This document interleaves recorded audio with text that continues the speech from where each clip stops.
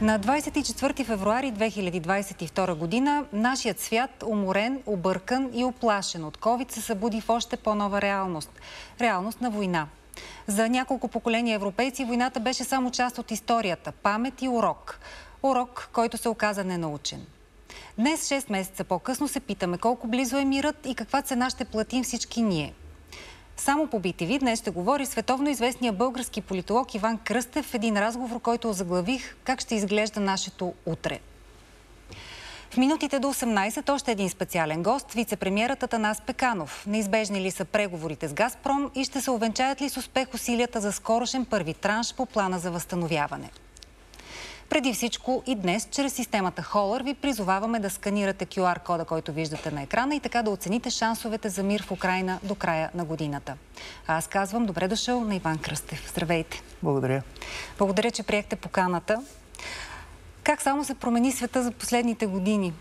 И ако вземем повод от днешния ден, в който отбелязваме половин година война в Украина, близо ли е наистина мирът? На каква цена ще се случи?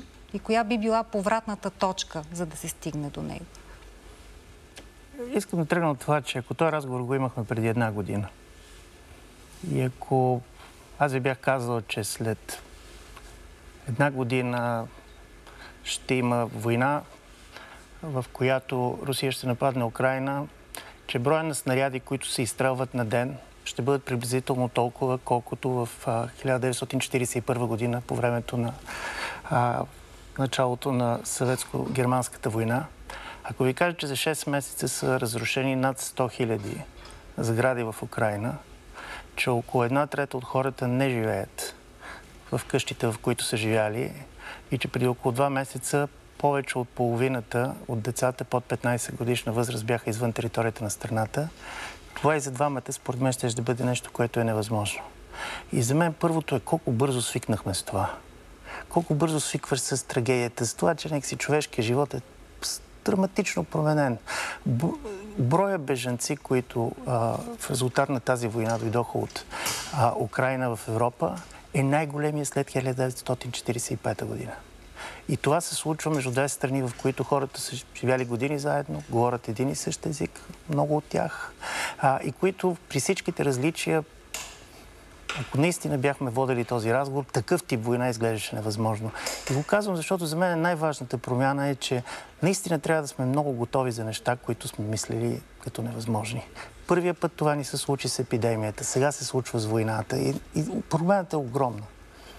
Това свикване как се преодолява? Как ни променя и как се върви напред след това?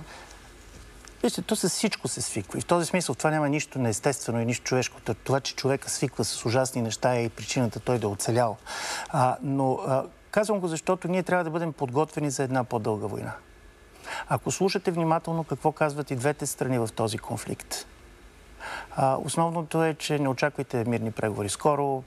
Поставят се задачи, които много трудно биха могли да бъдат изпълнени, за да се стигне до каквото и да било мирен договор. Най-многото, на което може да се надяваме някакъв тип примирие. И го казвам, защото в някакъв смисъл тази война се промени дори две седмици след като започна.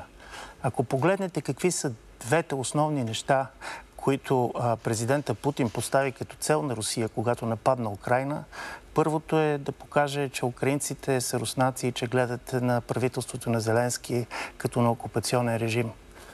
Вижте, хората могат да съгласяват с много неща, които стават или не стават, но ти ви виждате, че украинците се борят за своята независимост и че няма тези украинци, които да посрещат руските войски като освободители. Това е реалност. Втората реалност беше, че Русия извършва това, за да може да държи НАТО по-далече от границите си. В резултат на тази война Швеция и Финландия влизат в НАТО и като резултат от това границата между НАТО и Русия става 1400 км. И ние говорим за ядрена война по начина, по който не е говорено в последните не 30, в последните 45 години. В този смисъл цялата идея какво е победа. Какво от руска страна е победа? От друга страна, украинският президент и днес заяви, че за Украина единственият изход на тази война е връщането на всички територии на Украина. И това е напълно естествено. Това е тяхното законно право. мнозина се страхуват, че ако наистина украинските войски започнат освобождаване специално на Крим, не толкова на Донбас, рискът от ядрена война става огромен. И ви го казвам, защото само за да си представим степента на разрушенията. В територии, които в Донбас са живяли 3 милиона души, в момента живеят под 300 хиляди души. А, за всички тия действия, военни, този град е презет, този град е презет, а, това, което мене ме ужасява е, че ще се появи една част на територията на Европа, в която няма хора няма економика, няма нищо. Има само разрушението от войната. А, и за това ние трябва да сме готови. Трябва да сме готови, че този конфликт ще продължи дълго и може силно да напомня за корейския конфликт от 50-та година, в която изведнъж се появява някаква фронтова линия, която започва да прилича на граници. А, граница, която обаче не е граница между държави, е в смисъл замръзнала военна граница. А, това значи, че економическата война, която тече, ще продължи дълго.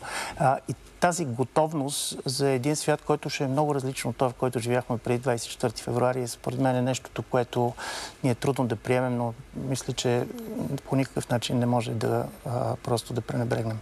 Ще поговорим, разбира се, за економическите последствия, които и вие споменахте, но нека преди това да се върнем на Владимир Путин. Вие го наблюдавате, познавате го, срещали сте се с него. И за това, което се случи преди няколко дни взрива, който уби дъщерята на Александър Дугин. До каква степен това а, би повлияло на ситуацията в момента? А, днес, а, в Деня на независимостта на Украина от Съветския съюз, всички се опасяват от допълнителна агресия, но този атентат по някакъв начин би ли се отразил на ситуация? Вижте, в момента има очакване за ескалация. Нещо повече, очакването за ескалация е свързано и с факта, че най-вероятно през зимните месеци ще има естествено замразяване на военните действия и от тази гледна точка и двете страни се опитват да вземат преимущество в това, което се случва. Смъртта на Дария Дугина, между това е трагедия. Света никога не е станал по-добре с взривени коли. Ние не знаем кой е взривил, честно казано. И сигурно ще минат години преди да го разберем. А, но това, което беше важно по-скоро е как тази смърт беше използвана. Защото Александър Дугин, който съм виждал няколко пъти, а, не беше много по-спорна фигура вътре в рамките на, а, на Русия, отколкото се разказва в момента. Обикновено ще прочетете във всички западни вестници един от големите поддръжници на Путин. Мозъкът на Путин го наричат. Вижте, първо, най-вероятно, ако те са се виждали, не е било повече от два или три пъти, но а, той представляваше нещо, което руската власт силно използва и в същото време нещо, от което руската власт се страхуваше. А, имперската позиция на Дугин е добре известна. Той е превеждан в България. Мнозина си дават сметка за какво става дума. А, човек, който никога не прие всъщност разпадането на Съветския съюз и за него възстановяването на Руската империя, въобще евразийството се превърна в знаме. А, но тази идея, която сега изглежда едва ли не е естествена, а, имаше много по-сложни отношения вътре в, а, отнош... в рамките на Русия и в рамките на Путиновия режим. През 2015 година Дугин и хората около него започнаха силни атаки срещу президента Путин за това, че е предал Донбас, за това, че е спрял войната в степен, до която той беше уволнен от позицията си на професор в Държавния университет. В този смисъл това нито той беше мозъка на Путин, нито това беше тогава още официалната идеология на Русия. Това, което се промени и се промени на погребението е, че изведнъж Дугиновата идея за Русия, идеята за православна империя, която няма причини да зачита суверенитета на независимите държави, е основната цел на Русия. Една Русия, която ще бъде в непрестанна война с Запада. А, тази идеология постепенно се превръща в официална идеология и не просто Дария Путина получи медал а, за храброст, а, но самият Дугин заяви, че той очаква не мъсте победа. Проблема е каква е дефиницията на победата. Какво трябва да се случи, за да може Дугин и хората, които го подкрепят, да кажат, че Русия е спечелила. Значи ли това унищожаване на цяла Украина? Значи ли това унищожаване на света? Значи ли, че малки държави нямат право да бъдат част от света и нямат право на своята независимост. А, в този смисъл тази смърт, според мен, е кристализира определен тип а, напрежение вътре в рамките на режима и мисля, че днес Дугин е по-влиятелен в Русия, отколкото беше дори преди 48 часа. През юни пред Financial Times коментирахте, че идва перверзният край на последната европейска империя. Но същата тази последна европейска империя е тази, която ако не доведе, то спомогна с всичка сила за економическата криза, която в момента плаши всички.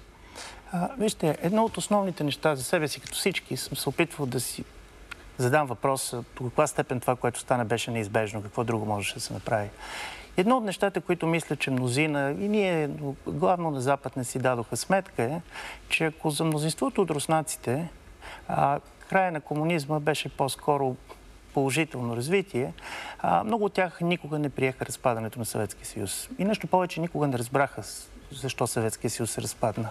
А, за поколението на Путин, офицер а, от а, а, сигурността, самият факт на това, че ядрена империя може да се разпадне, че ядреното оръжие не може да те предпази. А, изведнъж, според мен, се превърна в лична трагедия а, и оттам започна това непрекъснато търсене на опит, но не вече за възстановяване на Съветския съюз, нещо с което никога не съм бил съгласен, с възстановяването на това, което той виждаше историческа Русия. Но за да може да има тази историческа Русия, украинците трябваше да приемат, че са руснаци. Те не бяха готови да го приемат. И каквото и да говорим и както и да завърши тази война, тя показа, че съществува украинска нация различна от руската и в някакъв смисъл баща на тази нация до голяма степен е Владимир Путин. А, само преди 10 години 70% от украинците имаха позитивно отношение към Русия и руския президент. Днес гледах последните изследвания, 82% от украинците не просто имат негативно отношение, даже в смисъл стигната е до крайност. Тоталното неприемане на Русия и всичко руско е част от тази украинска идентичност. Вие не можете да си представите, сигурно сте го видяли и на улицата на София, виждате го и на други градове. Украинци, които отказват да говорят руски, дори когато не владеят други езици. И всъщност това, което се случи е, че за да си разшири територията, за да вземе в момента полуизпразнени от хора Донбас, а, всъщност беше разрушен руския свят, свят, който беше разрушен, съществуваше на базата на руски език, на някаква традиционна руска култура. На факта, че много хора от бившето съветско пространство продължаваха да мислят а, в а, категориите на тази руска култура. Всичко това изчезна. А, всички тези украинци, които днес воюват с Русия, те няма да учат децата си на руски язик. Значи, представете си 20-30 милиона души и това е само в Украина. И това е което исках да кажа за края на империята, защото империите се раждат обикновено на бойното поле, но те умират в книжарниците. В украинските книжарници до преди 10 години повечето от книгите бяха на руски. Едва ли е трудно да си представим, че след 5 години най-вярно в украинските книжарници няма да има никаква литература на руски язик. Да поговорим малко за Европа, за, европейската идея въобще. Тя непрестанно е подлагана на тестове в последните години. А, само до миналата, а и тази вълна не е отминала. COVID, който създаде страха. А, сега економическата криза, газовата война създава една тревожност, един ужас какво идва. Как Европа и самата европейска идея а, отговаря на това предизвикателство и подложена ли е на риск? Заговори се много за лицемерие. Виждате какво се случва. Всеки се спасява поединично в ситуацията с газа, въпреки общите европейски решения. Вижте, това е много реална криза, това, което се случва в Европейския съюз и а, след първите 100 дни, в което имаше много силна емоционална реакция. А, според мен тук много по-малко се усети в България, но страни, които по принцип никога не са имали никакъв особен интерес, нито към Украина, нито към Русия, бяха шокирани първо от това, че в Европа е възможна голяма война и второ, че една голяма ядрена държава се опитва да възстанови колониалните си имения. И в този смисъл имаше този тип обществено мнение, което застана твърдо зад Украина и парадоксално една от страните, в които подкрепата за Украина беше най-силна, беше страна като Испания, която е на другия край на Европа. Никога не се е специално интересувала нито от Русия, нито от Украина. Постепенно обаче европейците започнаха да виждат, че света за нас се е променил. Променил се економически, променил се политически. А, Европа е в економическа война с Руската федерация и това е факт. Той минава и през санкционния режим, който постави Европа, и през тоталното военизиране на газовите доставки, което направи Русия. Значи, ако погледнете какво се случва в момента, тъй като в, у нас е а, изключително популярен а, дебата за а, руския газ. Ми, те тръбите непрекъснато се развалят. Значи непрекъснато Германия, която иначе следва и продължава да изпълнява договорите си с Газпром, получава не повече от 20-25% от количествата, които са и обещания. В този смисъл тази економическа война съществува и тя няма да завърши дори в момента, в който просто се появи примирие, в момента, в който за 3 или за 4 месеца а, уръдията спрат от двете страни на фронта. И това е нова реалност за, а, за Европа. Съществуваха според мен иллюзии, които трябва да бъдат честен. Аз никога не съм споделял, че в момента, в който бъдат поставени економически санкции на Русия, руското правителство в рамките на 3 месеца ще промени политиката си или че руснаците ще излезат на улицата веднага. Това няма причини да вярваме, че ще се случи. То не се случи при нито един от предните економически санкции, нито срещу Иран, нито срещу други страни. Но истината е, че Русия в дългосрочен план също плаща висока економическа цена и тя не е свързана само с тия 4 и половина или 5% от брутния вътрешен продукт, който ще загуби за тази година, а с тия десетки хиляди IT специалисти, образовани хора, които напуснаха страната и най-вероятно няма да се върнат. А, и тук трябва да кажа, че определени страни в Европейския съюз отидоха в другата крайност. Идеята да не се да се настоява да не се издават никакви а, визи а, на руснаци, се вижда изключително не просто морално погрешна, но политически погрешна. Защото тази война беше война, взета от едно ръководство, не особено интересуващо се от мнението на своето общество. То беше подкрепено от мнозинството от руснаците, но в Русия има хора, които не подкрепят тази война. В Русия има хора, които се обявиха срещу тази война при условие, че рискуваха 15 години затвор. И да затвориш границите си за тези хора има нещо, което за мен се вижда огромен проблем. Остана ни съвсем малко време. Какво се случи междувременно в България? Вероятно следите ам, голямата дискусия, голямото говорене за газа. Покрай решението на служебното правителство да възобнови преговорите с Газпром като възможен вариант за осигуряване на газ за зимата, се заговори за възможен завой във външно-политическата ориентация на България. Има ли такъв риск според вас? Вижте, тук разбирам, че в България всички сме специалисти по въпроса с гъста. Аз нямам самочувствието, още повече никой не се вижда от страни, но мога да кажа три неща, които за себе си научих, опитвайки се да разбера какво става дума. Първо, служебното правителство все пак трябва да ни убеди, че започването на тези преговори е неизбежно, защото връщането към тези преговори не значи, че ние ще се върнем там, където сме били. Ако Русия и Газпром могат да си позволят такъв натиск по отношение на Германия, най-големия газов пазар, Представете си какво става дума за доставките за България, които между другото са изключително малка част от енергийния микс на страната. В този смисъл много е лошо в политиката да проявяваш слабост. Защото когато покажеш слабост и си готов да сменяш позицията си, не се сърди, че другите ще се опитат. Да се възползват. Да се възползват от това. Второто, което ми се вижда много важно и това е големия въпрос е дали правителството въобще мисли, че е възможно да се преговаря за дългосрочен договор с Газпром, нещо, което Газпром обикновено иска, тъй като българският договор изтича през 2022 година. И тук трябва да кажа, че ако има такъв дългосрочен договор, той е промяна във външната политика. По отношение на тия конкретни неща, сега какво трябва да се пренесе. И, и третото, което ми се вижда също много важно е, ние се държиме като че ли България е страната, която най-много е пострадала от тази енергийна криза. Но истината е малко по-друга. Поради това, че България изнася много електричество и че цената на електричество в страната е много малка а, в сравнение с повечето места в Европа.